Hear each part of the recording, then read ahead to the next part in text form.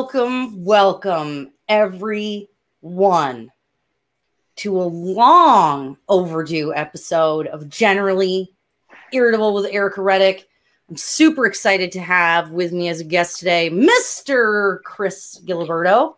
Say hello to everyone, Mr. Giliberto. Hello, everyone. How are you? Oh, they're great. They're fabulous. They might not even be watching us yet, Chris. This is what I was saying. Like, I was going to toy with trying it out where I don't add you to the stream yet. And I just like sit here and go blah, blah, blah and wait a couple minutes for people to start watching. um, so you're just going to suffer with me. See, I have to do all this. I do this little thing where I set up my screen. Happy to suffer with you. So I can see things. Aw, aw. You're a good friend, Christopher. I try. So everyone knows for full disclosure. Okay, did we get this right? Am I live? We're live. Okay, we're definitely live on Facebook. Let's see. We're going to switch this over to comments. So, for full disclosure, I really like Chris. He is an old friend of, of mine and Benjamin's. Uh, we've known each other for God, like five years now. We Five met years, in a in a networking group. Yeah, yeah, yeah. So we met in a networking group. Um, and we we got Chris to write our life insurance policy. Um, I argue with him all the time about putting money in the stock market. Um and i because i i think it's i think it's a racket. I'm i know you guys are going to be like ericka how can you think that you know you're supposed to be like a conservative or whatever? I do not have money in the stock market. I still don't. He has not worn me down yet however he almost convinced me. He almost convinced me that I i, should invest hard, in the stock yeah that's way. true. That is true. You do encourage me with your knowledge and wisdom. I'm just i'm so anti i, I hate to say anti-government. You you don't necessarily think of the government and the stock market as being like the same thing right? The stock market isn't the government. But we're going to talk today i know right? But we're going to talk today you guys about how the government does affect the stock market right? So you've got not to mention all the regulatory stuff right? You've got what is it sarbanes oxley and you've got all these like laws and, and things that you have to go by um, that regulate trading and the stock market. But people don't always consider how policy making at the federal government level or the state level can affect making money in the stock market as well. So um, let's see.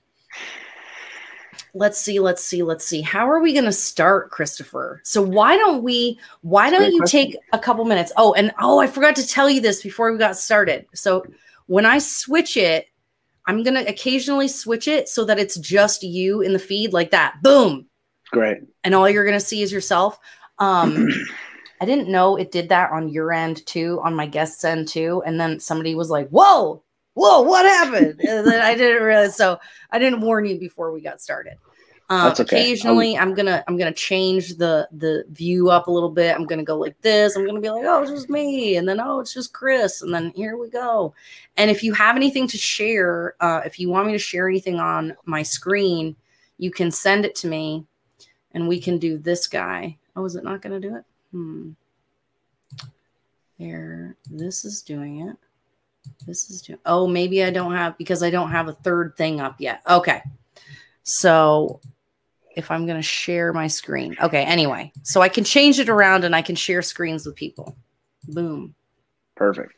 okay everybody's going to have to be really patient with us today because i'm so out of practice on this. Okay so chris take a couple minutes share with my viewers a little bit about you know i said i know you because you you wrote our life insurance policy but tell people a little bit about you and why you're so passionate about um, helping people have financial literacy Great question. Um, absolutely happy to do this. So, a little about me. Uh, my name is Christopher Giliberto. Um, I claim Detroit, though moving to Texas. oh I live in Tech Austin, Texas area right now, and that was move number ten, I think, in my well, life. What is it? What is it? The license plate? Uh, what is it? The bumper sticker says, "I wasn't born in Texas, but I got here as fast as I could." yeah, it, it's true. Um, okay. So I met uh, I met a lovely Texan. Um, her name is Megan, and now we have a, sitting in our room in a room right next to me is our two year old daughter. Um, she Ooh. turned two on Saturday, and um, she's. I, I, just love being a dad, and uh, thank God I live in the state of Texas, um, and thank God that my wife convinced me. You know, didn't take a lot of convincing, but uh, convinced to stay here. Um, so um, I'm a I'm a financial advisor with New York Life and Knowledge Securities. So just like Ericka mentioned, um, work with New York Life, big life insurance company. Uh, started off selling a lot of life insurance. Um, but as I grew in the business and my practice grew, I got more licenses. I'm uh, licensed to do everything but sell you individual stocks and bonds currently. I'm working on my CFP, so I can cons- I can call myself a planner one day, um, cool. and it be official. Um, but for fun, uh, and uh, over my my right shoulder, there's a lacrosse stick. I coach lacrosse. Um, actually, this year I'm coaching women's lacrosse for a local really? high school team. Mm-hmm. And really excited about that. And uh, um, I'm a nerd and a geek at heart. So, uh, yeah, yeah. So that's a little about me. And so, why am I so passionate? So, wait, hold on. When you say you're a nerd and a geek at heart, how does that manifest for you? So, um, right now I'm speaking on my my work laptop behind it, I have two. I have a dual screen computer that I built myself. I used to play World of Warcraft um, a little too much. Uh, I think uh, so. Um, Got it. I, um, big Game of Thrones fan. Not the. I mean, the TV show was great up until season eight, but I've got all the books. Um, uh, and and read those a couple times. Um, so, have you talked to Benjamin about being an extra in the Chronicles short? I have, I've, I have not. I mean, that guy doesn't answer my damn phone calls. Oh, he's yeah, such a he is, sorry he is a pain. I don't think damn is bad. I don't think we get dinged for that. I don't know, okay. but yeah, try to keep it PG thirteen. Yeah, I probably should have um, told you that. Normally, this, you know, I cuss a lot, but I do not cuss on my show. It's it's a northerner thing, you know. it's just part of the vocabulary. It's not it even like a cuss word. It's just part it's of just, the vocabulary. It is what it is. Yeah. Okay, so let me don't let me forget when we get off because um, we're shooting a fantasy. Uh, uh, the we're starting to shoot his his fantasy movie on the fourth. So if you can come, we'll put you to work. Um. Anyway, okay. So why are you so passionate about financial literacy? So um, there's a lot of bad press on mm. capitalism. Mm. Now, what I think is happening in the United States is a lot of crony capitalism, a lot of greasing of hands, a lot of things that aren't necessarily what capitalism is. But from what I, from the yes. books that I've read and, and the work that I do, capitalism is the exchange of good for the exchange of currency for goods and services. Yep. Right? If you if you go to the the market and say, "I've got a pizza joint," but there's a pizza joint next to you, the better one's going to win. And yes. It just is what it is. Sometimes it's not fair, but through that that understanding like the best product, the best service wins, you're able to succeed and grow. So mm-hmm. a good example would be like Chick-fil-A. Um, Chick-fil-A grew with the, you know, Chick-fil-A in Boston market came out around the same time. Mm. Boston market wanted to hit a billion dollars of revenue as soon as possible. Chick fil A went into the market saying, we want to be better, not necessarily bigger. Mm. If we're the better we are, the bigger our customers will demand us to become. And the, yep. the day the day that Chick Fil A hit a billion dollars in revenue was the same day Boston Market declared bankruptcy. So oh, wow. Chick Fil A came. Yeah, isn't that ironic? Chick Fil A came to the market, said, "We're gonna we are gonna follow these principles, these things, and we wholeheartedly believe in our process and our vision, and the market responded. They, I mean, man, I love those bigoted bites of chicken goodness. They're so delicious. so called alleged. Yeah, alleged. Allegedly so, bigoted. Um, and everybody's you can have your own. Everybody can have their own opinion. But um, back to why I'm passionate about this, about about the uh, financial literacy, making sure I educate my clients and everybody that I work with. Yeah. There's a lot of positive press on communism and mm, redistribution of wealth and mm-hmm. socialism and my, my undergrads in history my master's degrees in sports management i know how did i end up as a financial advisor but history has shown that it doesn't work. And in my heart of hearts i believe if the human condition wasn't a thing if we weren't inherently greedy and selfish and mean and eat we're, I, I think our base condition is to be out for us and the yeah. ones we care about the most.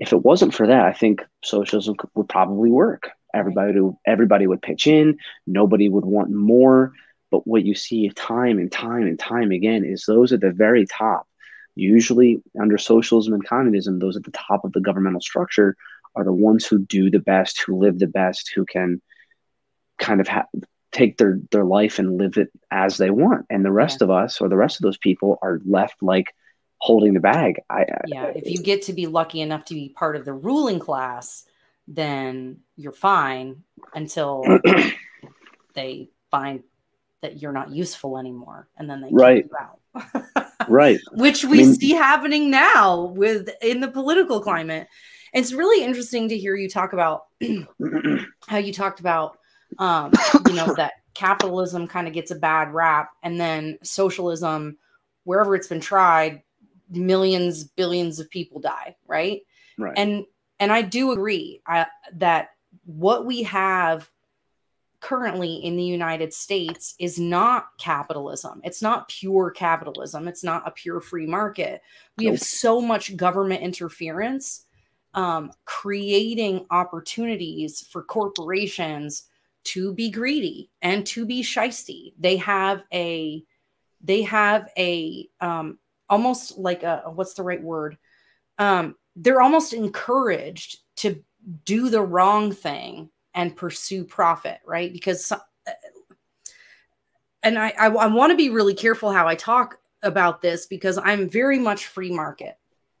But when you get to the point where you have um you know the the head of the FDA leaving there to be on the board of Monsanto uh, or a CFO CEO of Monsanto making you know millions and billions of dollars. Like there's something wrong in your system. Right. And so I don't even totally disagree when you have some people on the left who say well capitalism isn't working either you know? And I'm like I, I get that. The pro- but the problem isn't capitalism in my opinion.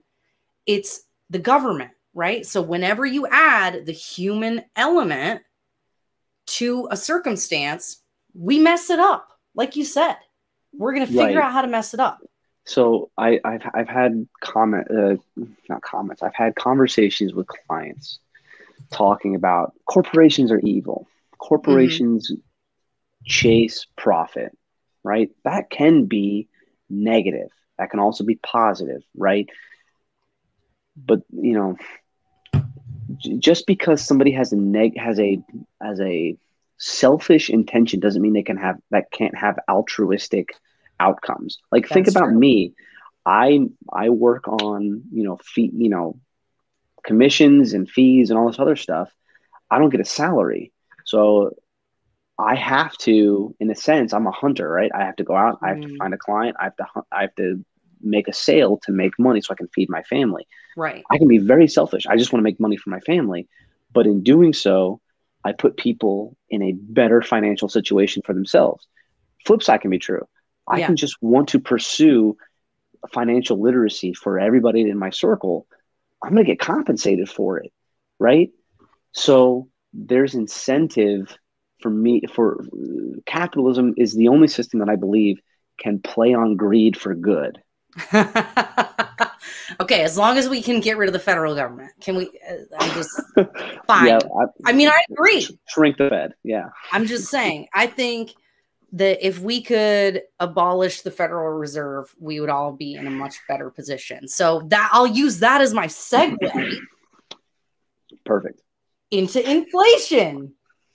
So I've been thinking a lot about inflation. Yes, inflation this year has gone up and up and up, but something to consider because I play devil's advocate and it's oh, kind of good to, you know, in a in a into dis- into defending my own arguments and defending my own arguments, I have to come up with um, some some things that could be also true, right? Okay. So under the previous administration, good, bad, or indifferent, prices came down across the board. Correct. Right. Mm-hmm.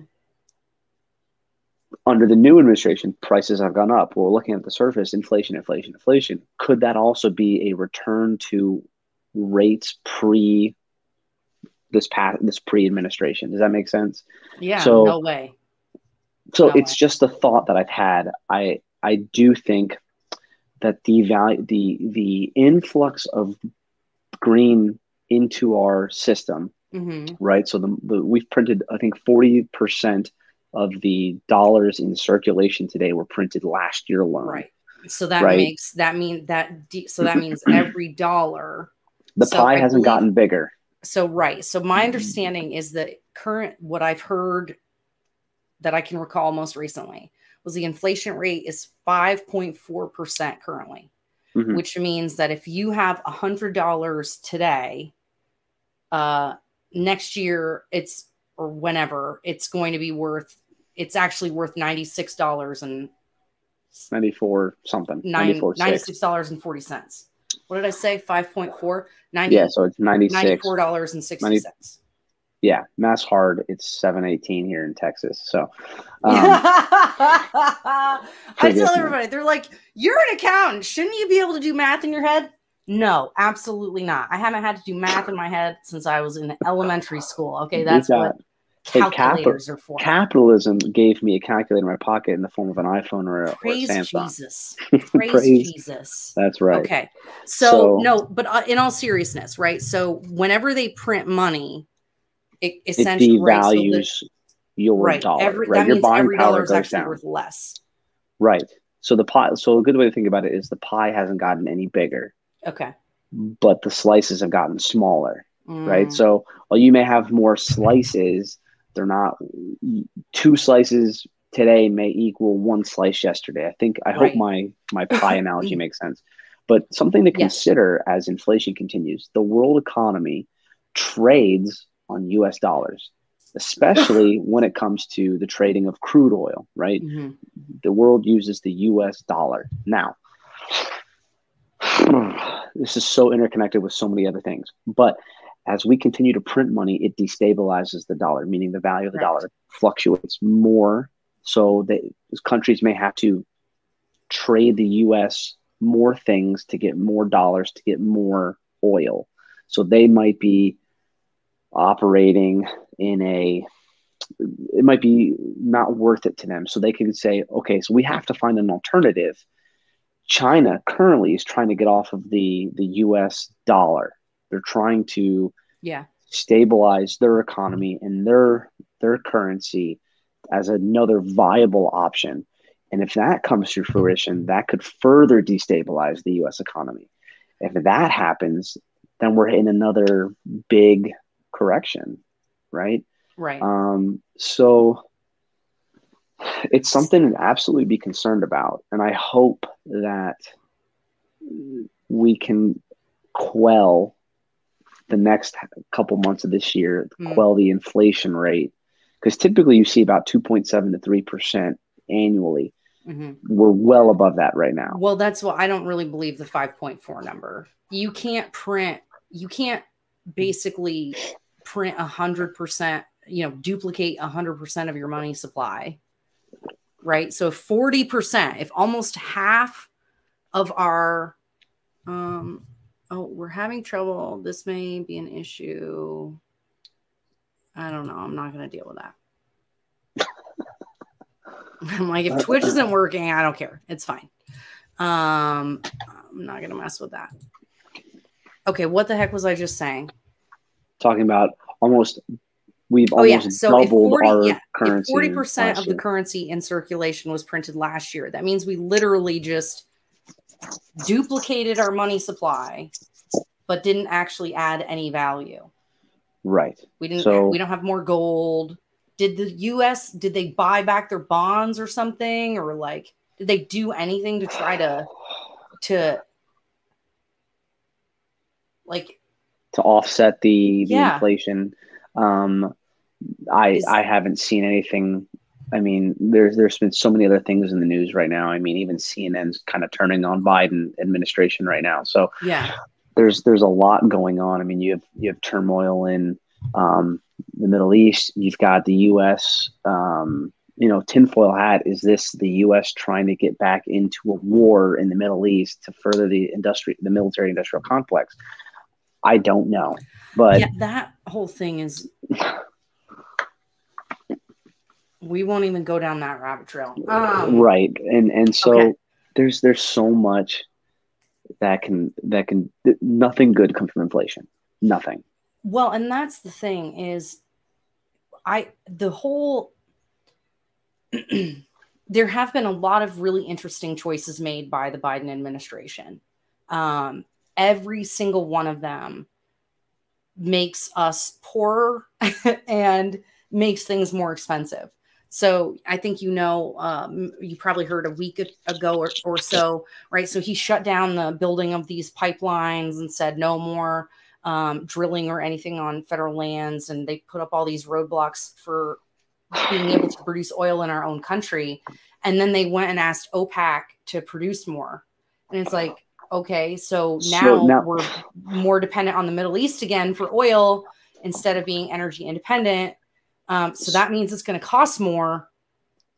And then you're bringing in all like the the border is open essentially. So we have a huge influx of illegal immigrants, which um, you know brings down the uh, wages for any labor, right? Because right. they typically are replacing your construction workers, your restaurant workers. so the lower income people are now being replaced. And so that that drives down wages even further. I it's it's very strange to me, and I don't expect you to be a, like Biden policy apologist, um, but it does seem like those are really weird choices if you want to have a thriving economy. It's it, it is. I, I, I don't. I mean, I'm I'm going to be 33 this October. I've been doing financial advising for the last five six years, so I'm still learning in my in my practice. Yeah. Um, but where I'm sitting today, I don't understand any of it. So, like from a logic standpoint. So it's not just us I, little people that are confused. no, I, am I'm, I'm a little person too. I don't think like I'm not making millions of dollars. I'm I'm I'm making you know a, no, a I mean, like, living here. Not financially literate people necessarily. Okay, I don't understand the stock market or whatever you know. Say gotcha. So um, something with the oil you brought up, and I want to touch on. So in everything in life, I'm a firm believer you have to control you you can control, right? So the environmental agency in the United States can control and oversee oil drilling in the United States. Hey, as long as you're within these parameters, go keep on keeping on, man. Yeah. But instead, we've now gone to overseas markets and said, "You guys drill however the hell you want. I don't give a shit. Darn it, I don't. I don't give it. I don't care. Excuse my French. I don't care. Yeah. But we're going to spend more oil, more energy to bring those cr- those barrels overseas Over, to the United uh, States, eh, where you know, I mean, they could be people who are, are working on these things could be in terrible conditions and if you are somebody on the left who believes that we have to help those who are disenfranchised this should be something you should be ringing the bell about and by the way i'm a bit i'm i'm more right leaning i'm a i'm a i love to hunt there's nothing i want more than for our environment here in the United States to continue to be pristine. I think the United States is beautiful. We are so blessed. And I want I want to take my daughter hunting one day. I want to take my grandkids hunting one day. And to do that, we need a healthy environment. Yes. So I think there's a way you can still produce energy and oil here in the United States and continue to, to have a beautiful uh, landscape. Yeah. And if, if if we are so concerned with energy and and and the environment here in the United States, why is nobody talking about nuclear energy? Why? It is it is one of the I think what I've seen is the energy one would require the, the the waste one would make. So in my lifetime if we were on all nuclear mm-hmm. energy all of my waste from nuclear energy would fit in a coke can for my entire lifetime. See and this is see here's the the problem with nuclear is the first 50 years of nuclear energy or whatever it's been since the first power plant was opened. I'm not I don't know. But it's you see you know we've seen all these you know nuclear disasters hiroshima. And, and well not even Fukushima. the bombs. I'm talking about fukushima you know, three mile uh, island that's and, right. Oh fukushima. Yes yes yes. Yeah yeah. Not um, hiroshima. Um, japan. You're right. Yes and, and then um, chernobyl in in right uh, so russia you, you hear about all this and and what i know as a as a regular old human being who doesn't keep up with this stuff is that we have a ton of nuclear waste that we have nowhere to put and no one will take it. Hmm. And so um, if we can't, if we are unable to store our current nuclear waste in a way that is safe, then I, even me, who's like all about free market and innovation, even I'm like, no, we're not building any more nuclear power plants until you figure I almost I almost swore. See that? Sorry. Um, until you figure out how to deal with it. Right. You know, and and I haven't heard anybody tell me how they're going to deal with the current cr- problem that we have. Yeah. Well, I mean, in terms of renewable energy, um, I mean, we saw here in Texas this past winter with Snowvid 2021. Oh, like, like. do not hear me say renewables are the solution. Right. Don't I'm hear me say that, that, I'm not saying that either. I, there, there's there's definitely something that we can do where again we can continue to be energy independent. If we're energy independent, it means more Americans, maybe without high school degrees or with just high school degrees, can get a job and make an earning, make a make a make a living wage that can that can pay yeah. a lifestyle for a family. Like there's no law in the books that says we have to have a two parent, you know, a two income household. Correct. That's that's that's silly. That's asinine, and it, it doesn't need to be that way. You know who used to agree with you? Who? Oh my god! Oh my god! Her name just the chick that ran for president. Oh my god! You, I. It is late. Jorgensen. No, the oh my god, the Bernie Sanders female version from Massachusetts. Uh, that would be your realm.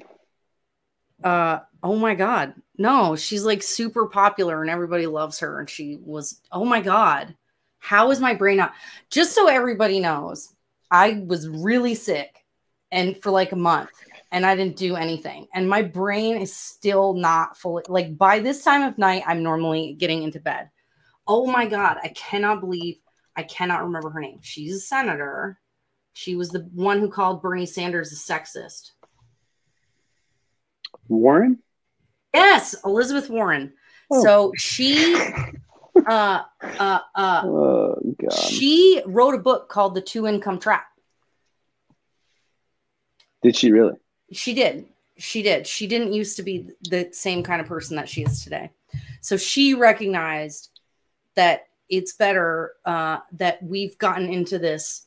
You know, our houses have gotten bigger, our cars have gotten bigger. We have, you know, a flat screen TV in every household. Everybody's got to have an iPhone, and we have all this expensive stuff where our lives didn't used to be this complicated, and we didn't used to think that we needed all this stuff. So families didn't need two incomes to survive. Right. You know, one person stayed home, and one person was the income producer. Yep. I, I mean, uh, I think some something that really um, compounded that that keeping up with the Joneses mm-hmm. Joneses mentality is our is our social medias. Like something, you know, as a financial advisor, it pains me to see all these people going on mm-hmm. mega Uber vacations multiple times a year. I mean, if you can do it, fine. Uh, but that's a highlight reel. That's not real life. Mm. That's yeah. a highlight reel of somebody's like it's it's best of, mm. right? Yeah. Um, and oh my God, that would be so much fun. I mean, I, I do this with my my better half all the time. You know, she tells me this looks this looks great, we should go do it. I do the same thing. And I realize like we don't have to do it.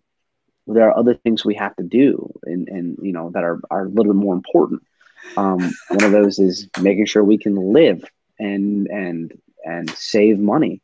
I mean, you're gonna pay you're gonna pay for everything at one point, and not monetarily, but I mean, I can save a little bit today and live better down the down range, or I can live better today and live terrible downrange. I just know that me, I'm not going to want to work forever. Yeah. So I want to make sure I'm putting enough money away, or at least taking those steps toward that goal, and I to to pay off long term. Oh, don't even get me started. I've got some clients that I wish would make different decisions with their money. It's very frustrating. Um, okay, everybody watching today with me is Mr. Christopher Giliberto. He is a financial advisor. I can call you that, right? Absolutely. Okay. He's a financial. I can't call him a financial other word because that's Planner. not allowed. You um, can. I can't. Okay. Just like I can't call myself an accountant in Texas, even though yeah. I have a bachelor's degree in accounting and have been an accountant for 20 years. Unless you're a CPA, you cannot call yourself an accountant in Texas. You call you a BA accountant, accounting, like a bad, bad bottom accounting. that all that doesn't sound good. Like that is bad bottom line. No, I, seriously, Christopher Giliberto, uh, financial advisor. Mm-hmm. Um, we're here talking today a little bit about how inflation is going to be affecting people. Let's get down. I don't want to bury the lead too much. Um, the oh, Trevor says, if you if anybody watching, if you have a question, feel free to type in the chat um, a comment or a question for Christopher uh, for me, for us. Um, but yeah, so not as to bury the lead a little bit. The, you know, I really wanted to have you on today when uh, what last week when we were talking about um, capital gains tax increases. Mm, yep. Um, you were talking it basically like some people it's going to go up to almost basically 50%, right? Like 48.5% or something like that. 48.4. Yep. 48.4. So um, this administration and Democrats in the last election cycle really repeated over and over again that they wanted to increase the capital gains tax to make the rich pay their fair share, make the rich pay their fair share. And they couched it as if only rich people pay capital gains tax.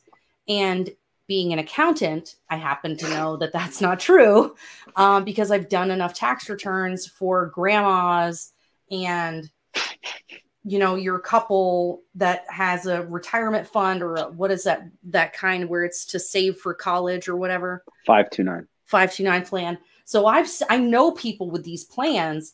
What and i'd be like why are they lying why are they saying it's only rich people that have capital gains? Like that doesn't make any sense. And yeah. And so this idea that it's it's only gonna, you know, it's only gonna be the rich paying their fair share rather than hurting the general public. So if you would talk about what you know, you mentioned um, the interest rates going up, what they're going to go from and to, and then let's talk a little bit about how that actually affects the average person. So, with capital gains, there are two types of capital gains, right? So if you open if you open a Robinhood account or an or an Acorns account or whatever it happens to be, if you come to me and say, "Hey, Chris, I want to invest in mutual funds," right? Yeah. Um, if it's if it's just a retail account or a brokerage account, you're going to have to pay what's called capital gains tax, and that's okay. It's mm. it's not great. I don't necessarily like it, but it is what it is. Currently, there are three long-term capital gains tax rates. Mm. There is 0%. So if you are a single person making under $40,000 and below, you are in the 0% long term capital gains bracket. Okay. okay. So you if said you make, below 40,000 mm-hmm, single. As a single. Yep. Okay. If you make 40,000 and a dollar up to, I think it's 500,000 as an individual person, you are in the 15% capital long term capital gains bracket. Okay. And then if you're single, make 5,000 500,000 plus a dollar or more, you're in the 20% long term capital gains bracket. Okay. Then, I mean, getting into the weeds a little bit, there's also something called the net investment income tax. Um, it's another tax that they that uh, the government applies to people over certain incomes, right? Mm. Uh, the net investment income tax. Uh, it's section 1411 of the IRC of the Internal Revenue Code. Okay. But um, so those are the those are the current rates. They've been that way at least since I've been practicing and paying attention. Okay. Um, what is going on is you have so people- that was even oh i'm sorry for interrupting was that and you yeah. may not know the answer to this was that pre trump administration or has it just been that way for I while? believe i believe so okay. now within this is different there are income tax rates that's different they of course yep they have been lowered since the pre- since president trump um, yeah he lowered but, people's oh go ahead yep so in 2017, there was the Tax Cuts and Job Act, okay, uh, done by President Trump, and that lowered a little bit of some of the marginal tax rates. Okay. Currently, there are seven law, uh, income brackets on the books today. By 2025, they will go back to Obama era and uh, uh, income rates. Okay, so if you're in that top marginal tax percentage on the books today, unless something happens, it's going to go back up from 37 to 39 point something percent. Um, so, um, but talking about long term capital gains again. Okay. So there are those three brackets. You're in the 20 to 15 or 0%. Okay. G- Mr. Jeff Bezos, I I shop we shop at Amazon. I think at least twice a week we have an Amazon box at our at our front door. But uh, so um, you're welcome for sending you to space. Um, just uh, wish you would have stayed. Um, Jeff Bezos gets around income taxes, right? He's an uber wealthy individual. He owns a lot of a lot of different businesses. I think he, you know, right. outside of Amazon, I think he owns the Washington Post and a few other yeah. things. Um, but Jeff Bezos gets around income taxes by only taking a W two of about one hundred and fifty thousand dollars, mm. way less maybe it's not 150 anymore, but it's way less than his his lifestyle than what he spends to to maintain lifestyle. Right. So how does he make up the difference? Well, uh, Mr. Bezos uh, has what's called um, he liquidates uh, reti- he liquidates brokerage accounts. So maybe he gets employee stock purchase plans through Amazon. Maybe he gets restricted mm-hmm. stock restricted stock units or stock options but he's got a port he probably has a portfolio where he liquidates on a yearly basis to maintain lifestyle so, so he's now, paying so hold on i just want i want to back up just to make sure we're clear about something that jeff bezos does this but this is also open to every single american everybody's right? able to do this right so yeah. he has yes he has more money than because he created like the best invention of all time ever apparently um amazon and I'm not even going to deny, like, you cannot hate that man. Like, he created something that makes everyone, everyone's life better. You yeah. can hate on that, but whatever. Anyway, but the point is, there are ways around paying so much in taxes available to every American, whether you're a business owner or anything. Like, there's always a way to manipulate information. Right. So, um, so we're picking on Jeff it's easy. It's it's. He's um, an I easy. Mean, he's an easy target. He's the last year, I think he amassed a ton, a ton, like his company amassed a ton of money, oh, yeah. right during during yes. the economic shutdown. Again, why I don't like the government and crony corporatism, but whatever, but whatever. I will let you finish. Okay, um, so he's got a paycheck of a hundred thousand or whatever it is. Whatever it is, it's it's way less than the highest marginal tax bracket right. out in California. That's okay. that's the point, right? Right. Um, but he's living like he earns top one percent of the of the world. So what is so what he's doing is he's getting around income taxes that way. Yeah. So the the talk is let's tax his investments, right? So let's increase his taxes. Well, if he's making a buck fifty, and I'm, I'm I haven't seen his W two, so I'm not going to sit here and say it's exactly one hundred fifty thousand. So um, let's say it's one hundred and fifty. That still doesn't even get him close to the mm. the top uh, income, the top uh, capital gains tax bracket at twenty percent, right. right? So, what is what is happening now is the current administration is talking about doubling long term capital rates, going from twenty percent to forty percent, going from fifteen to even twenty five or thirty percent. In my opinion, that de-incentivizes the average American, us here, to open those types of accounts and to invest and save for the future. We invest and save for the future so that one day we can live how we want to live without worry that we're not going to be able to live the same lifestyle that we we want to make sure that last we know we don't want to outlive our money we want our, right. our usually it's either one of two things my clients say i want my i want that last check to bounce kids kids be good luck or i want to pass i want to pass on my my my assets to my children, right? Or and my grandchildren.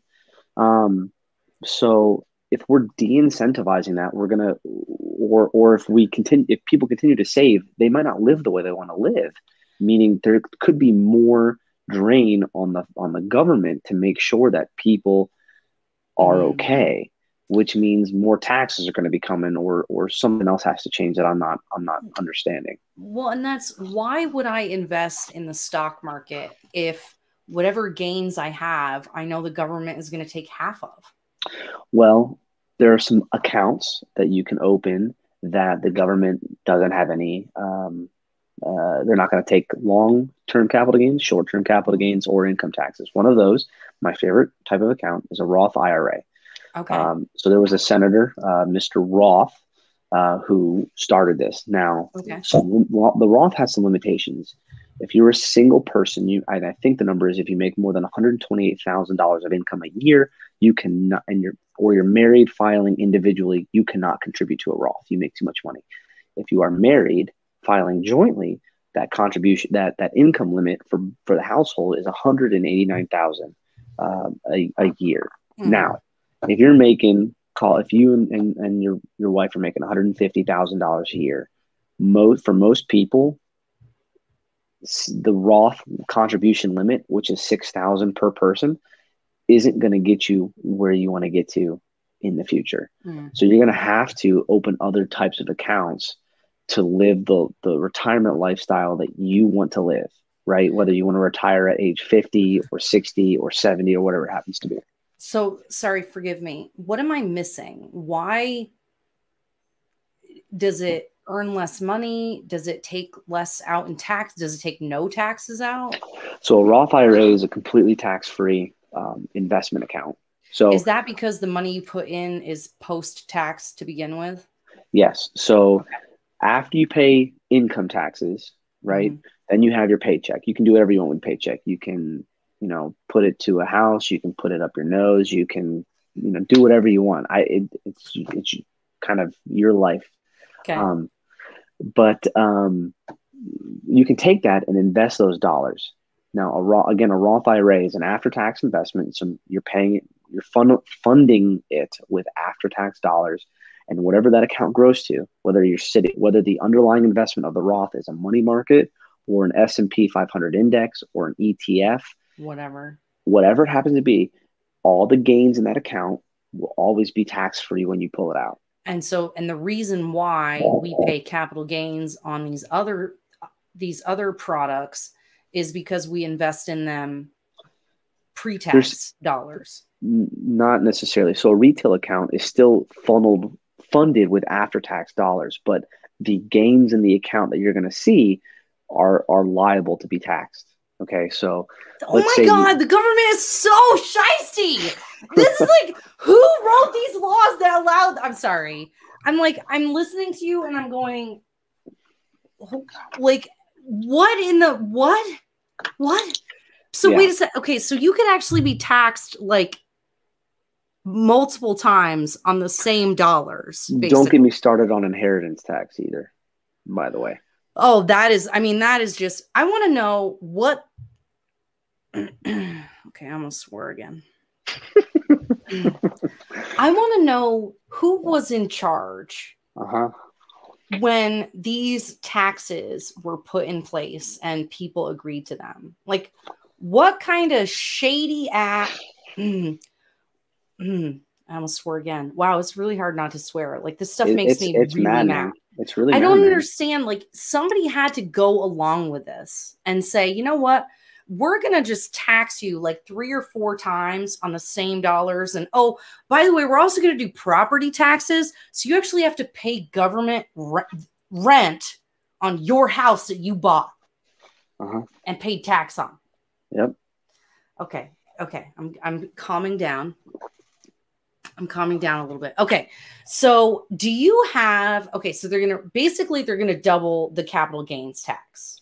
So that's what they're talking about. Now some some good, good news, bad news, right? If they double okay. it now in the state of Texas, if you're in that 20% bracket today mm-hmm. and they double it on the federal level, not only do you pay federal capital gains, there's state capital gains, and then you add the net investment income tax on top of that your your gains are going to be almost halved. Wait, what's so the if, net income investment tax? What's that? So I've got it pulled up here. The oh my god, is that in, on top of the capital gains tax? Mm-hmm, the net investment income tax imposed by Section 1411 of the uh, Internal Revenue Code applies a rate at a rate of 3.8 percent to certain net investment income of individuals, estates, and trusts that have income above the statutory threshold amounts. So okay. if that is if if if you are that individual in the state mm-hmm. of Texas, you're looking at a 48.4 percent long-term capital gains bill. So That's in millions terms, if you make a hundred dollars on your investment, you sell that investment after a year, it's beholden to long-term capital gains. You're gonna you're gonna get to pocket uh hundred dollars minus yeah 50 51 cents Fifty-one dollars and twenty cents. Fifty-one dollars on your fifty-one cents on your dollar. Mm-hmm. That is wow. So so what things. is it? I mean, you not you probably don't have the answer to this, but then what would it be in a place like California? Because I um, imagine Texas has lower tax rates than other places. I'm just so guessing. the I can um I had this um tax foundation. Um,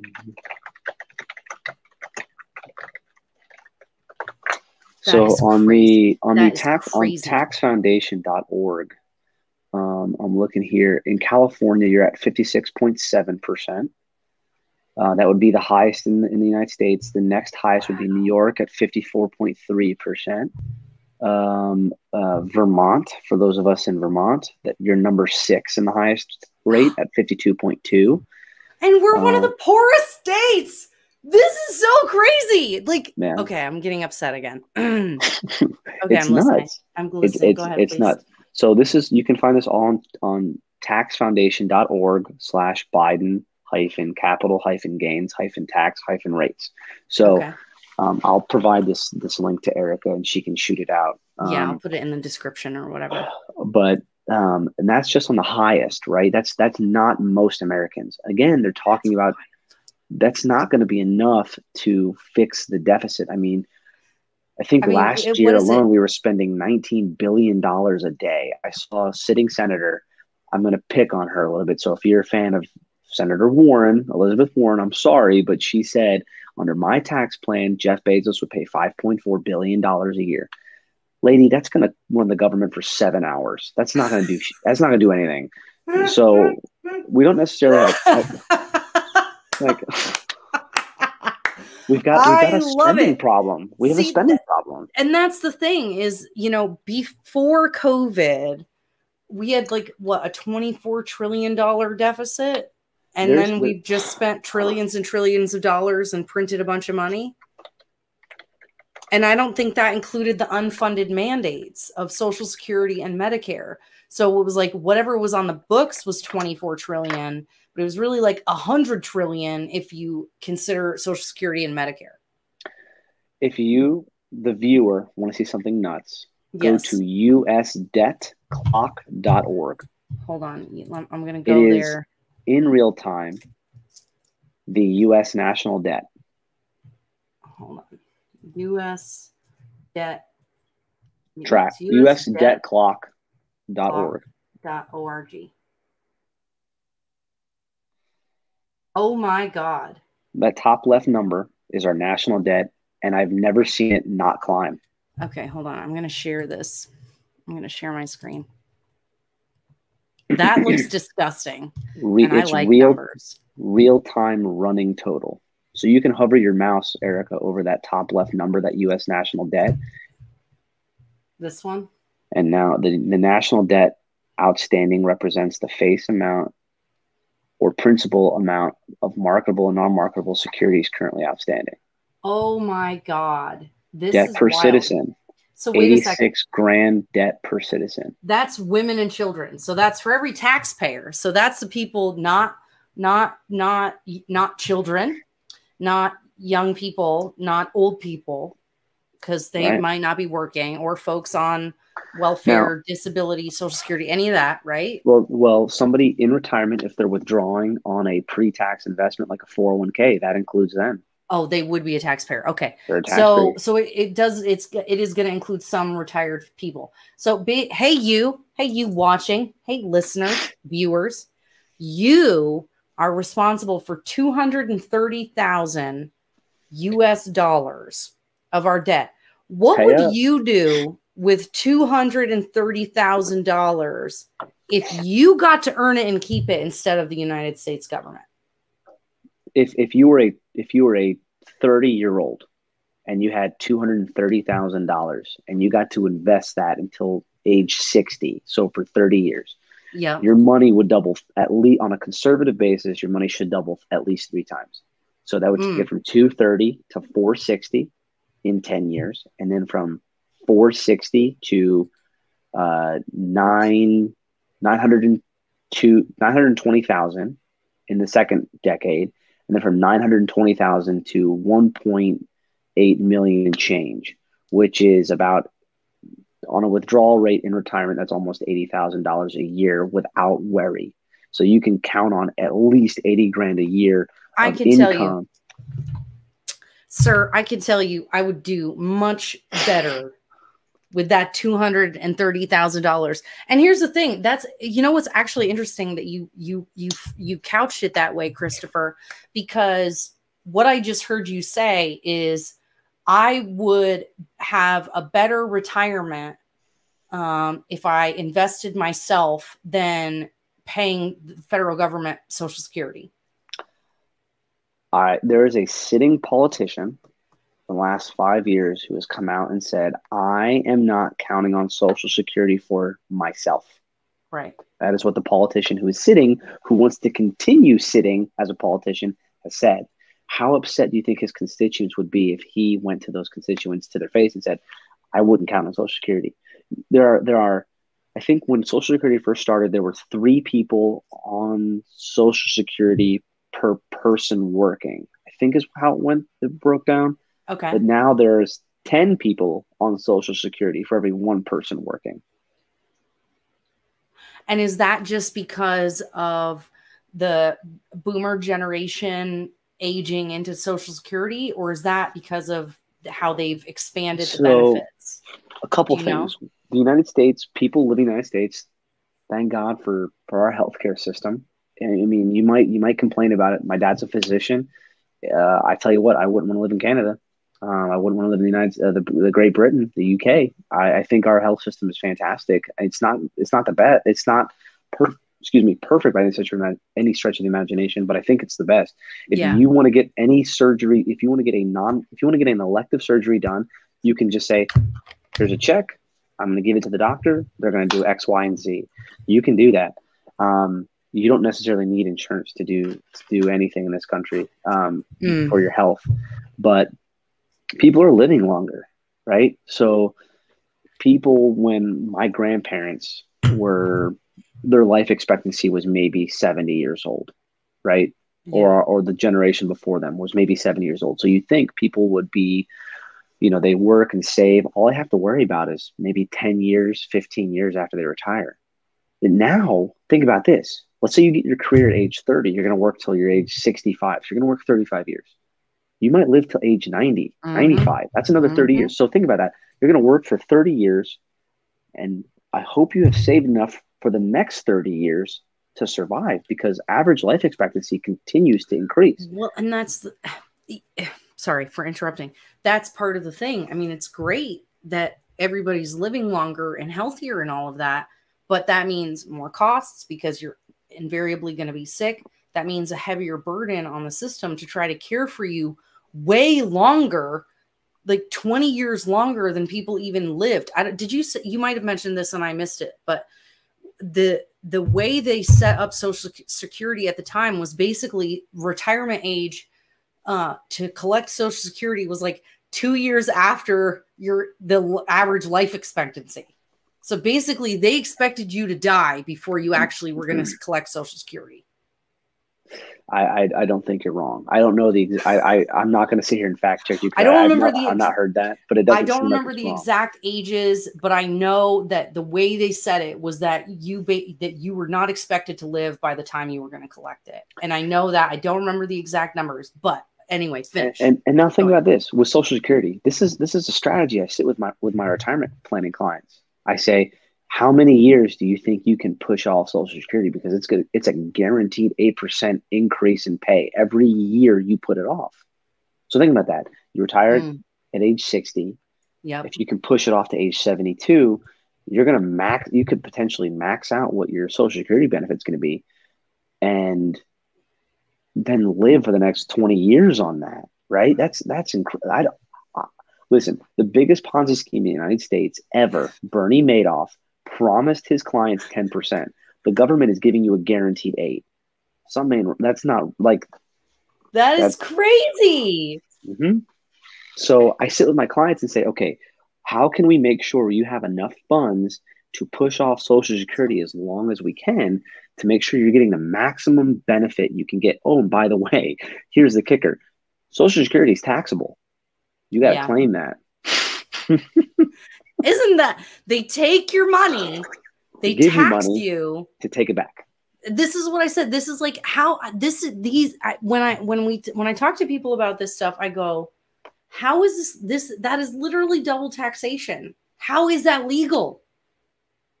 How is yep. inheritance tax legal? I thought it was specific like okay. Yep.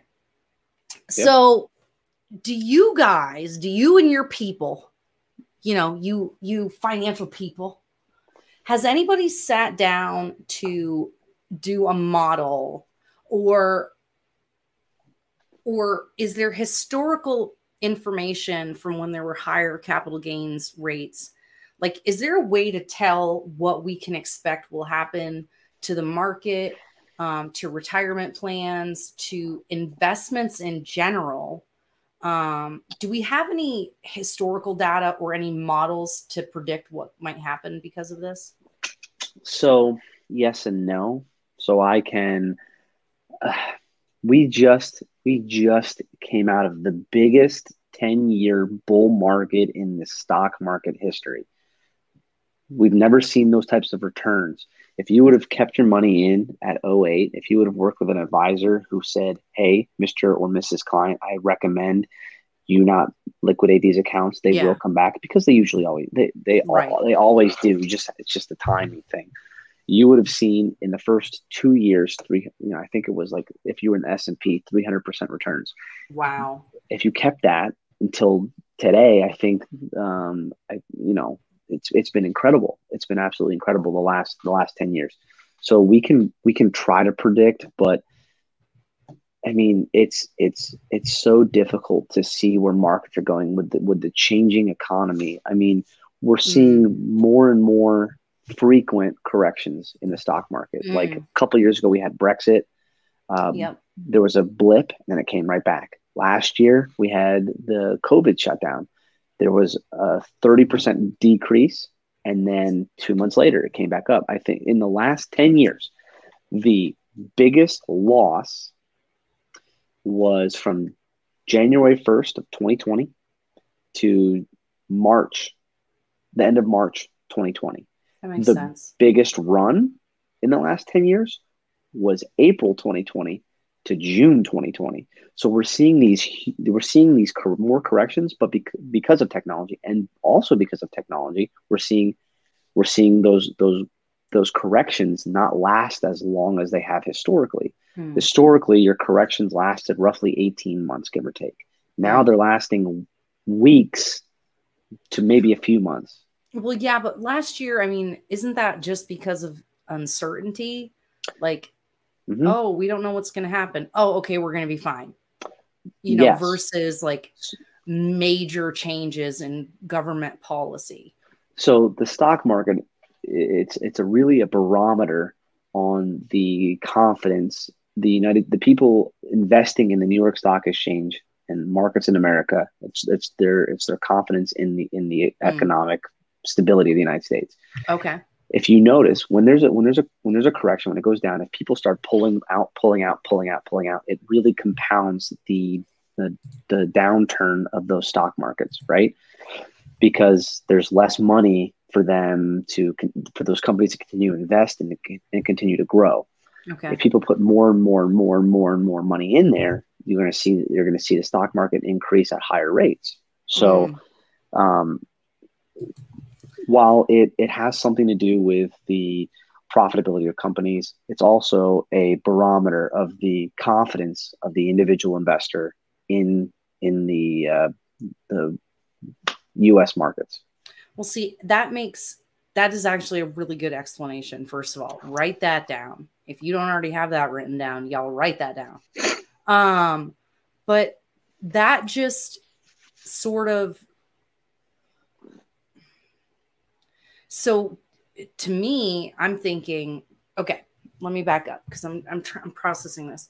So I guess to me, again, if I'm a rich person, especially, say I'm a, I'm a reasonably well-to-do person, and I've You're got Jeff couple, Bezos' ex-wife.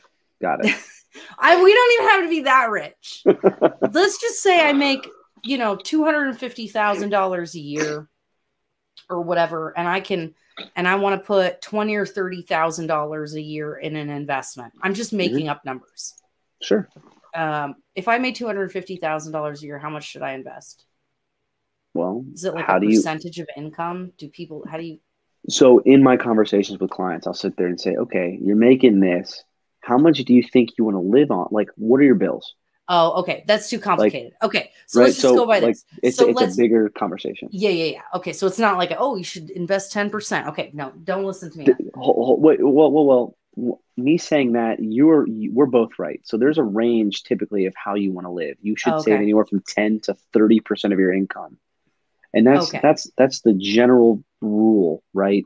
Now, okay. Ericka, you, your your number, whatever it is, might is going to be different than mine, which is going to be different than my client, the clients who I met with earlier today. Right. We all have different incomes, different wants and needs, and all this other stuff, right? Okay. So it, it just depends on the individual person, but usually it's between 10 and 30%. Okay. So let's say I make $250,000 a year and I want to mm-hmm. invest 10% of my income. So what's that? $25,000, dollars mm-hmm. right? So I want to take $25,000 and invest it. And I go, okay, I've got this $25,000. I can put it in the stock market or a mutual fund or whatever. And mm-hmm. the government's going to take half yeah. What's that? No, Actually, said, well, yeah. No, it wouldn't be half. It would be like what was it, like twenty five percent? So currently, or what they're proposing. So currently, there's so you would you'd be paying fifteen percent. Currently, so in today, in but it might go up to twenty five. It might go up to twenty five or thirty percent. Yeah, we right. just don't know. So, so if I've got twenty five G's, I can either invest it in the stock market, but I know the government's going to take 30% of it, right? If I make $250,000 a year, I want to invest 10% of my income. The government is going to take 30% of the gains that I have on that investment. Mm-hmm. Or when, when you that, sell, right? Right. Or I can take that money and put it into real estate or yep. uh, a, a production company that makes movies. Right, and, but now you're now you're paying income taxes on that, right? So if you if you're hmm. collecting rental income, I mean, I hate I if you think the potential for capital gains to increase is really bad. Yeah. Uh, in the late 70s, early 80s, when 401s became really, really popular, the highest marginal tax bracket was 70%. Okay. If you were an if you were a household Where, when was this? Late 70s, early 80s. Okay. So within the last 30, excuse me, 40 yeah. years, give or take. Yeah. Right. 70% was the highest marginal tax okay. rate if you were making a hundred thousand dollars, if you were uh, if you were a couple household making a hundred grand, you were taxed at the fifty percent rate plus because state has taxes too, right? So if you're if you have rental income, you put that money in a rental income. If as you draw on that, yes, you can write off some losses. But if you're taking that as income, there's you're going to be paying whatever tax bracket that now puts you in, right? Mm. In the 1920s and 30s, the highest marginal tax bracket was 93% of income. I don't and know I, what what people ever anybody who agreed to any of this nonsense, if they're still alive, they should be court-martialed. Would, would it be okay if I sh- shared my screen just for a second? No, can we share screens in here? Hmm. Can you sh- can you send me what you want me to share? Uh, yeah, I'll, I'll do that. Um, let me see. I don't think I can let you share. Okay. So this is I'm going to send you a PDF, Ericka. Okay. Um, real quick, but we'll right. continue while I'm pulling this up. Okay. We've we've gone around the hour, so we probably want to wrap it up in the next five or ten minutes. Okay. This is so fascinating. I want to talk about everything.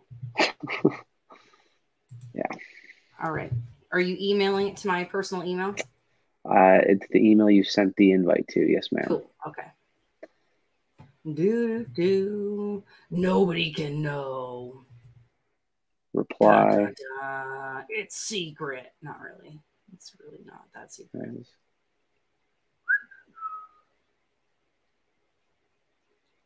This is so fascinating. Like, okay, so rental income and things like that.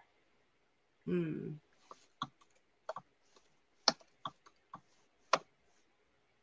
Ericka, right, yep, right there. Okay. I'm saying um, it twice just be, just in case my work email says, "Hey, you can't yeah, that." It didn't. It, yeah, there we go. Okay. Do do do. Um, that's freaking wild. So what I've sent Ericka is um, historical tax rates, right? So generally speaking, if you're in the lowest bracket, you're not really going to have to worry about it too much. But if you're middle class or or or above, there's a lot to be concerned with. Again, we're operating we're operating in a big deficit. The only way the government can fix that is to either print more money, which compounds the uh, the problem, yep. or tax more, which can also compound other problems, right? So, yep. um, this is going to show you what it's been, over, I think, over the last hundred years, give or take. Okay. So there are two colors. There's an orange and there's a blue. The orange is the highest tax bracket. I mean, in 19, 1944, the highest, uh, that, that peak is at 93%. Wow. And so this was all like during World War II and like mm-hmm. all kinds of sucky stuff, right? Right. And as you can see, they've come down a bit, but at the very far left of the of the graph, you see them kind of climbing, right? So, yeah. but there's a, there's another visual I have somewhere deep in my PDFs and files, but it shows you the tax rates, how they've come down, but how the debt has exploded the last 10 years, give or take. And the only way to fix that, again, government's going to come for more taxes, some way, shape, or form. Well, and that's what I, I remember looking this up for something, and the debt doubled under Bush, the debt then doubled again under Obama, and then it doubled. I believe it doubled again under Trump, or it yeah. like significantly increased under Trump. Yeah. So well, basically, spending. That's that was the problem. Right. So it was like Obama. We went from like ten to twenty trillion, but uh, Bush brought us from five to 10 trillion or whatever. So they basically just have exponentially. And this is why I tell people all the time, like, I, I definitely, I, I identify as a Republican. Um, I identify as a Republican, but not because I think that all the Republicans have done a great job. You know, I, I consider myself a constitutional conservative. Some yes. might call a libertarian. Um, but they're both parties are trash. They're not good. This is the, not this is not right. a Democrat thing. This is not a Republican thing. Um, you know, the, under the this administration, all the Republicans voted along with uh, you know, all these crazy bills. Like they're both just padding their pockets and their friends' the, pockets. The point in time where the U.S. decided we are no longer going to be a manufacturing society, we're going to yeah. move away from manufacturing and, and become a, uh, consuming society, is when things started to go haywire, right? Yeah. We are the only like our our greatest export is our dollar Wow. It's, it's, not our cars, it's not our energy, it's not our our it's it's nothing except our dollar. And you're and, joking. And no. That's that's the most valuable thing on the world market right now is our dollar. Because again, it's oil is traded via um, via the US dollar. We've got all these other things. Just you know, international business is traded on the US dollar. And again, as we further destabilize the dollar, yep it compounds the problem and it puts other countries in a better position. Is this it's, the? It's, See, this least, is what I hate. Again, I'm just a 30, almost 33 year old financial advisor. I, I, maybe I'm wrong. I hope I'm wrong. Here's the thing. This is what, like, I hate to be like. There's certain topics I've tried to avoid on my channel because they're they tend to be things that'll get you kicked off of YouTube and things like that. But and because I haven't done enough research necessarily to feel like I'm speaking about it. But when when I hear stuff like that, like we're intentionally in, it seems intentional at this point. That's allegedly. I know that those are my words, allegedly. not yours. Yeah. Allegedly, my words, not yours. Like we're intentionally devaluing the American dollar. And it makes me think of all of those um, speeches I saw about the Great Reset. You know, oh, you'll own nothing and be happy, and all this stuff that you keep hearing about that is supposedly all in the realm of conspiracy theorists. But then you look at what's happening and you're like, is explain to me how it's not how how right explain to me how what is going on doesn't lead to the conspiracies being correct and i mean i it's I mean, I'm not saying America has to be number one forever all of the time. I mean, I think we should be because we're awesome. At least we used to be. Um, and that's not to say that other people can't be good too, but we are the best. Let's just admit it. And um, it's okay wanting to be the best. I mean, I mean striving for the ideals that were set out by our, our founding fathers is not a bad thing. This it's is not. what I'm saying. Like, if we actually had a government that looked like it was supposed to, and we actually had some people with integrity in charge. Um, anyway, uh, it, how does it? How is this? Okay, let me. Okay, I'm going to say something really controversial. If if if the Great Reset made it so that Americans went back to having a one income household and there was a parent that got to stay home with the kids and raise them and stuff like that, I might not even say it was the worst thing.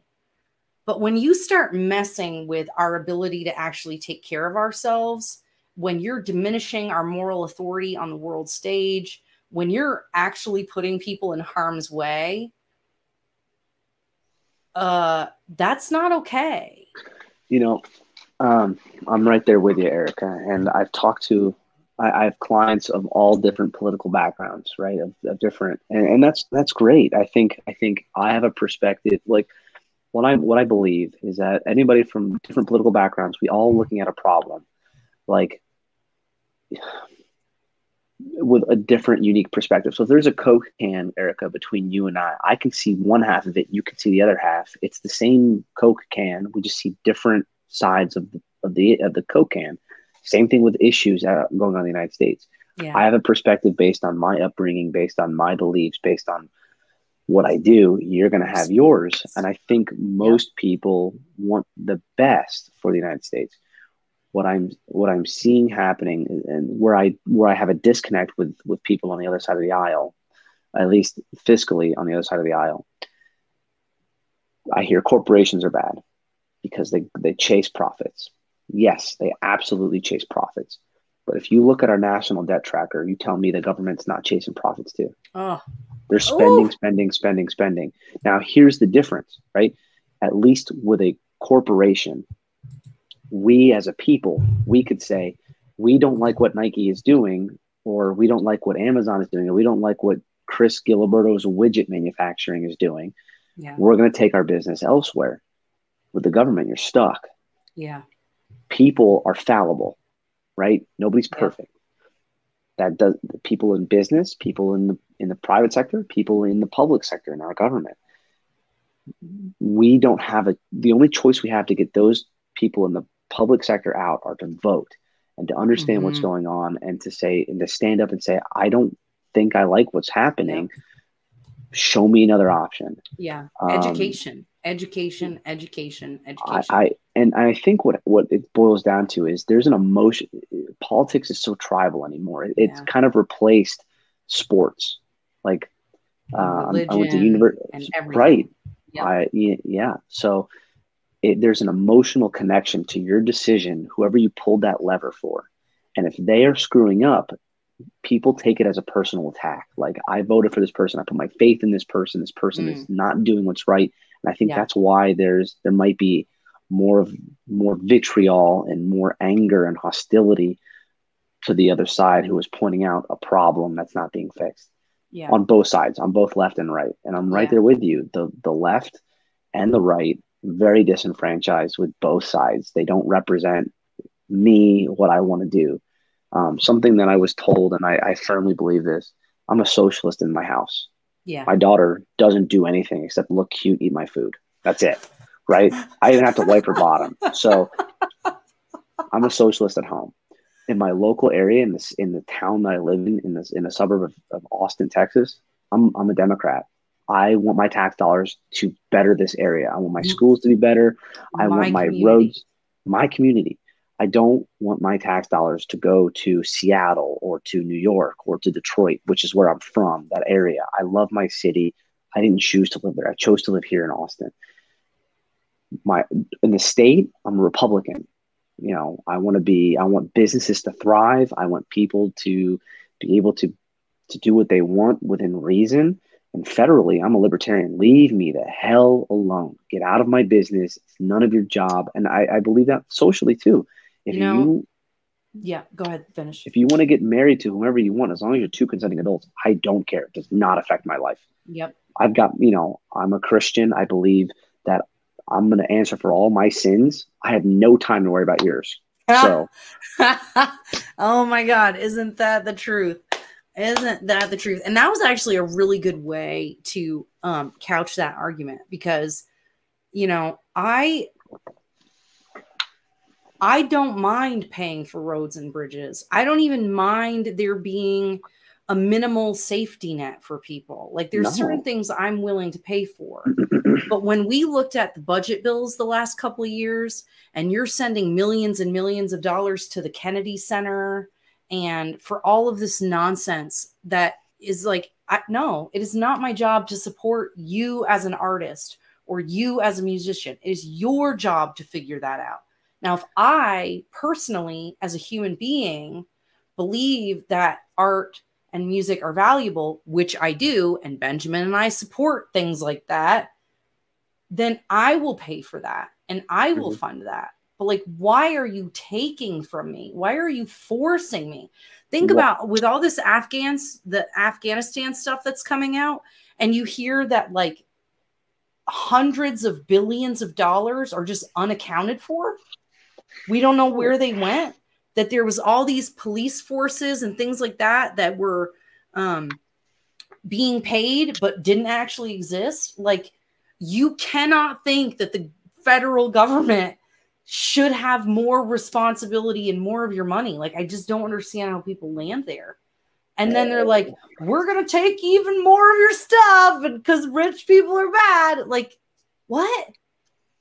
listen, and and I'm going to pick on another person real quick. Okay. Um, but I agree. If, if you're a lifelong politician, I'm talking to you. But I'm going to pick on Nancy Pelosi because I know I know how much she's worth. So Nancy Pelosi is worth give or take 44 million dollars. I think her, her salary is about 150, 170 thousand dollars. Let's just say it's 150 because I know this argument. Yeah. She made $150 a year over 40 year career in politics. She would have she would have had to invested every single penny she made to make $44 million at 10% rate of return. What? I'm going to repeat that.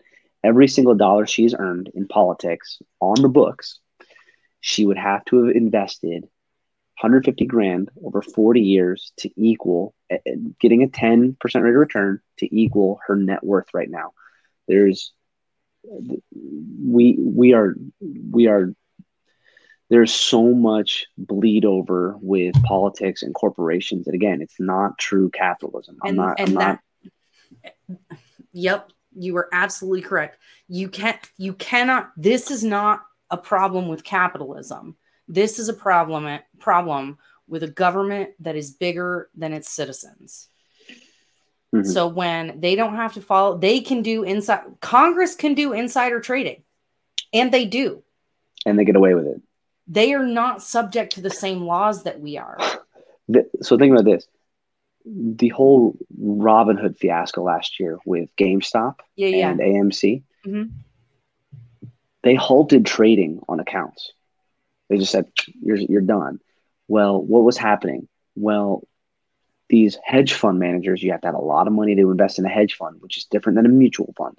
Okay. But a hedge fund, they were shorting this stock. They were betting on an think about this. They were betting that an American company was going to go under. Illegal? They were How? betting that this company would go under. That these pe- that their employees would be uh, have to find new new line lines of work. Now, I'm not sitting here saying GameStop's the best. I you know I'd buy a game for fifty bucks. It'd give me two dollars and and a, and uh, a get out of here, you know, kid, kind of deal. But I don't like how people can bet against an American company. Why would you want to do that? Why would you not want to help raise up GameStop or whatever company so that they can hire more people, so that they can get more people off the government tit, and so that they can start thriving, right? I, I, I don't understand. And because it affected, I believe, because it affected politicians' dollars and their net worth, they called their buddies, their buddies at these, at, the bank. at these places and said, "Stop trading, stop these what, trades." Dude, I don't. I was thinking about this the other day. Anybody that thinks Obama was a great president, I don't understand because I was thinking about all of the all of the disasters that happened under him. And when you have bank bailouts and corporate corporate bailouts, like that is also the antithesis of capitalism the government is not supposed to interfere. You, you are supposed to live and die on your own feet as a corporation. Suffer the consequences. And then you heard about them all making these billion dollar bonus, million dollar bonuses, and all this crap. And you're just like, why? Yeah. You and know, I thought for sure that that would have been like a turning point for people to distrust the government. Like they don't care about you. They so, do. Oh in 08 so i'm, I'm a i'm a detroit kind of kid right oh yeah in, in 08 you had the um, the big three bailouts you had ford chrysler and gm bailout um, ford paid their debt back chrysler who was bought by fiat paid their debt back gm still has not paid their debt back i don't so i'm i'm almost because it's i know so many people affected who work for those companies I don't necessarily have a problem with assisting a company that large with that many people uh, working underneath them. Um, but you need if I got to pay my dang student loans, you got to pay your freaking bill. Like, well, and away. that's and that's what like that company they made decisions and their union made decisions and all of those wow. people made decisions. Yeah. and i and i and this is the thing. It, this is the problem right is we cannot have a government that is empathetic. It shouldn't be. It shouldn't be. It because there's always going to be winners and losers. And the idea that we're going to put people in charge who are going to save these people over here and in order to do that are willing to harm these other people over here that's a problem like that's mm-hmm. where this is where like my hardcore libertarian comes in where i'm just like sorry yeah you're gonna have to like you're gonna have to relocate you're gonna have to find another job it's gonna suck it's gonna be disappointing and it's a wicked bummer but this yeah. idea that you can make me suffer to try to relieve the suffering of someone else. Like that is the that is what is wrong i think i think with our government. Thomas sowell said something really smart. Why is it always greedy for me to want to keep my money? Why is it not talked about it's greedy to want to take my money to give somebody else? Why is that not greedy? The- listen like, like he's he's brilliant but you know it's, it's kind of wrapping up the whole tax talk we've had. Hmm if it, if we were living under the dictatorship of Chris, okay. this is my whole. This is how we'll end. So this is your this is your closing. So I mean, if, take if, your time. I I, I love the idea of dictator Chris, just for the record, but please finish. If I had the keys to the kingdom, and I wanted to make sure the rich pay their fair share, and I wanted to make sure that people have enough money to do what they want and to live their own destiny, I would get rid of income tax. I would mm. get rid of uh, capital gains tax. You know what I you know what I'd start doing? Federal, national sales tax. And you can convince me about a progressive sales tax. But think about it. If Jeff Bezos is living on $10 million a year, he's not saving all that $10 million a year. What is he doing with it? He's spending that money on every transaction, on every transaction that he's, he makes, tax it, right? So now the rich are paying their fair share because if they want more, they've got to pay more. You part you also get rid of the IRS. You no longer need the IRS. That that that payments every year to to those employees goes away. Now, Ericka, I know it's a little your industry may go away a little bit, right? But how how can oh, we no, sure- trust me. Trust me. No, people are still terrible with their money. Relieving yeah. a couple of tax. I don't do taxes. So yeah. I'll be fine. You CPAs, too bad for you. No, anyway, seriously though. I, I would rather have a, a national sales tax. I think that makes more sense. If I want to live a certain lifestyle that's going to come with a certain price tag, I've got to pay for it. Part of the part of the um, part of the uh, debate over illegal aliens goes away. I said part of, not all of it, because now they're paying into the system because they have to pay for food, groceries, gas, all that stuff. I'm not talking about a sales tax on just luxury items. No, no, no. Everything. Food. Uh, now, don't tax food like you're going to tax a Ferrari. Don't right. tax a Ford like you're going to tax a Ferrari. But right. Some kind so of progressive. Some time of some type of progressive well, sales like most tax. food isn't taxable anywhere for sales right. tax, as far as I know. But but I get what you're saying. I still hate the idea because it's a tax. I, right, but right. I get but, where you're going. I'm trying to marry ideas, right? How so can we? Would, so would all income taxes go away? Why? Why do we have that? They only came about in the last hundred years. What about property taxes? I haven't figured that one out. If you can't get rid of property taxes, Chris, forget it. Well, no, seriously. So, and no, but so I am actually also, being serious thinking about this. So, so, also people who come over from other countries, if they're just here visiting, right? They already pay a G like if they rent a hotel room, they're already paying a GO bond, right? So the, the city's gonna tax a ho- there's a hotel room tax. Oh yeah, there's rooms and meals so, and then hotel and then Right, uh, but now if they're spending gas, if they're spending on an Uber, if they're spending on knickknacks at Disney World, whatever it happens to be, they're going to be taxed on that. So we're generating more tax revenue on people who don't even live here into our system. Have you done the math on this? I have not. I'm just sitting here. I usually have a glass of an adult beverage and uh, talk to buddies about this. So. Okay, I want you to do the math on the. I am really curious. I would be in. I'd be interested to do the math to see like what do we what actually how many dollars are used to purchase stuff here and what a sales tax would be. Uh, that is that is very curious. I'm not again taxes are theft.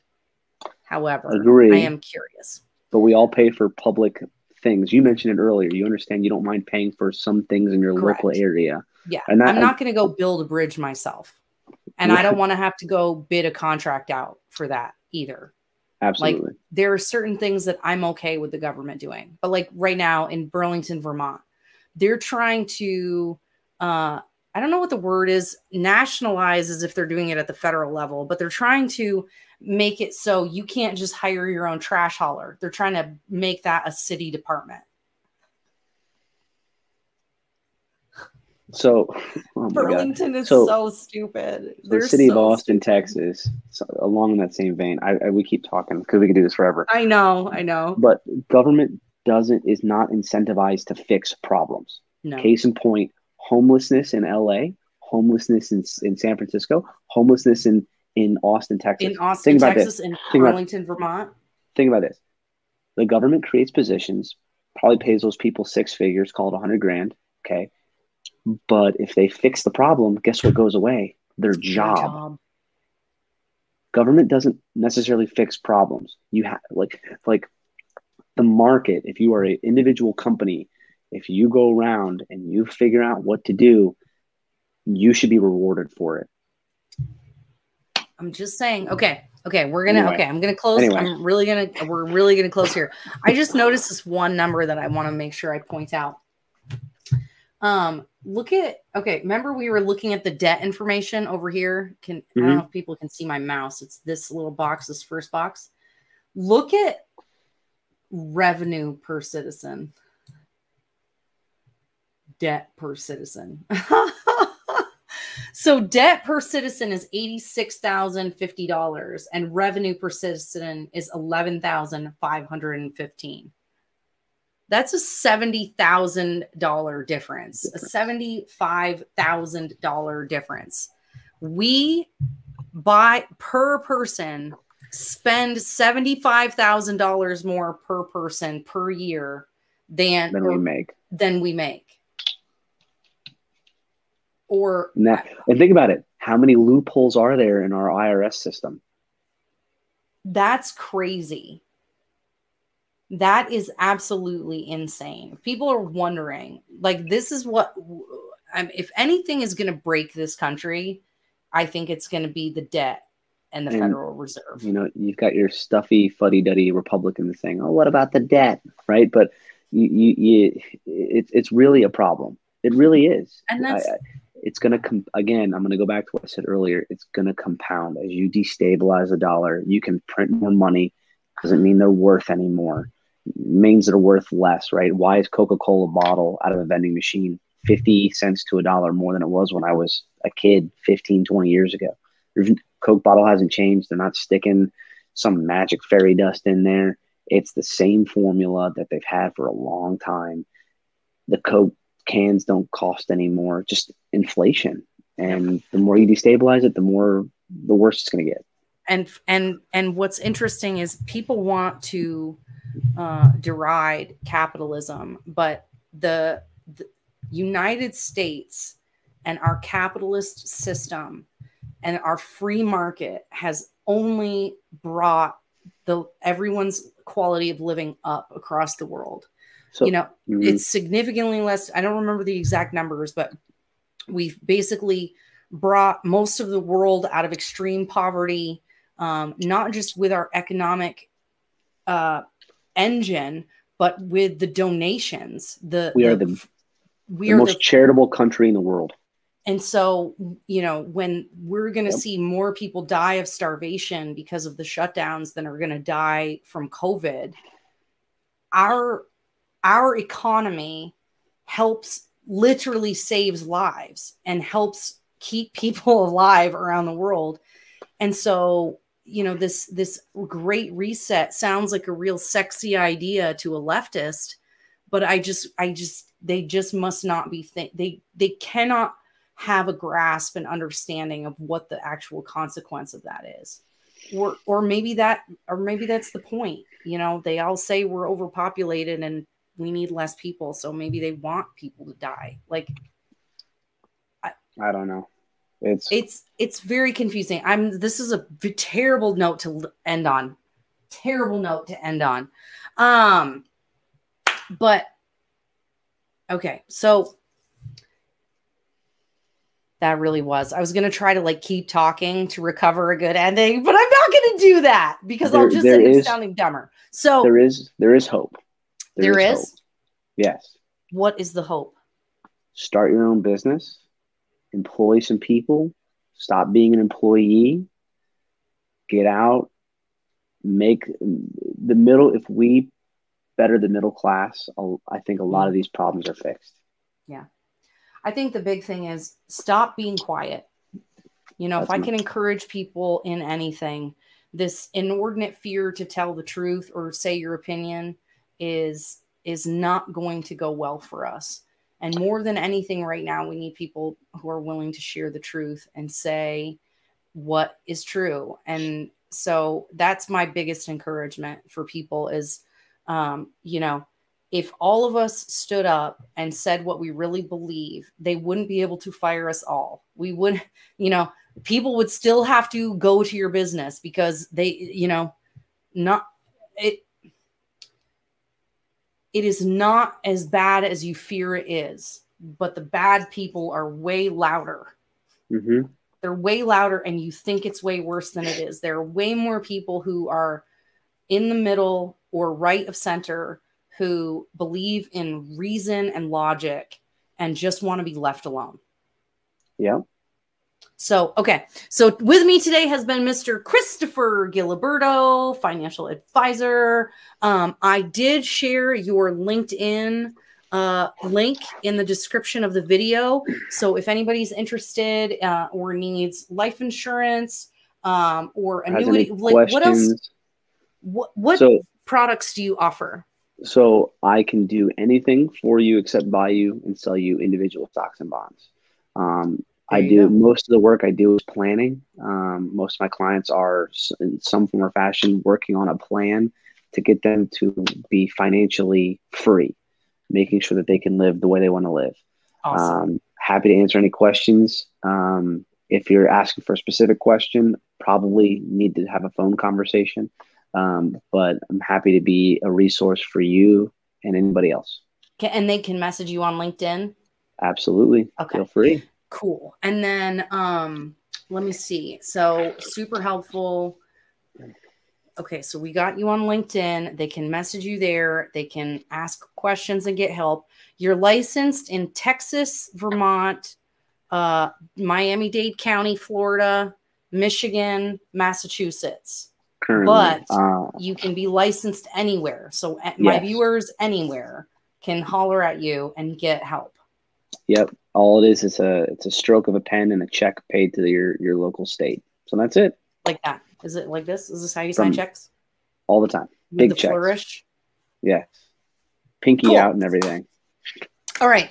So I'm probably going to bring you back um, when any of these things change. If we get some new tax laws and, and they do actually make these changes, I'm going to bring you back so we can talk about how it's affecting investments, retirement, and all that good stuff. Fantastic.